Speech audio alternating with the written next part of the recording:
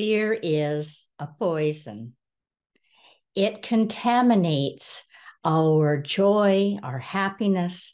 It keeps us from becoming our authentic selves and achieving our goals or even going after them.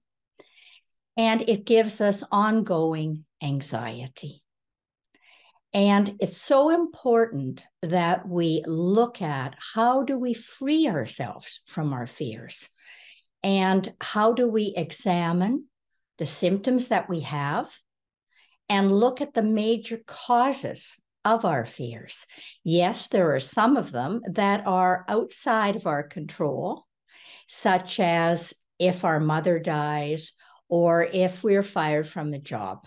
But a lot of our fears are actually within our control, within our sphere of influence.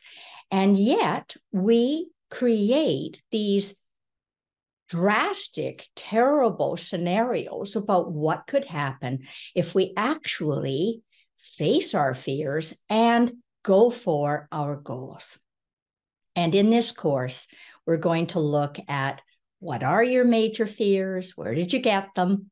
And how realistic are they? And more than that, what are some strategies so that you can get your goal, get past your fears, and build up your self confidence so that you'll know that not only have you achieved your goals this time and got past your fears, but the more we do it, the more goals we can go for, and the larger the amount of fear that we can deal with without being immobilized.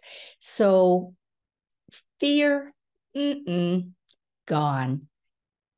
Have freedom from fear.